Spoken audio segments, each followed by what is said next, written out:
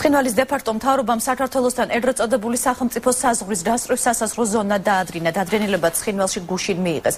განისაზღვრა ერთად წოდებული სასაზღვრო ორგანოების ოპერატიული მუშაობის, ასევე სასაზღვრო ზონაში შესვლის გადაადრილებისა და სასოფლო სამეურნეო სამუშაოების წარმოების წესები. დეპარტოს სასაზღვრო სამსახურის უფროსი სერგეი კოლბინის განცხადებით, ერთად წოდებული საზღვარი ჯერ გამარჯვებული არ არის, თუმცა დემარკაცია უკვე დასრულებულია და ამჟამად მოსახლეობას ახსნა განმარტებებს აძლევენ. ერთად წოდებული სახელმწიფო საზღვარი სამხრეთ ოსეთის ყოფილი ავტონომიური ოლქის ადმინისტრაციული საზღვრის ხაზს ემთხვევა.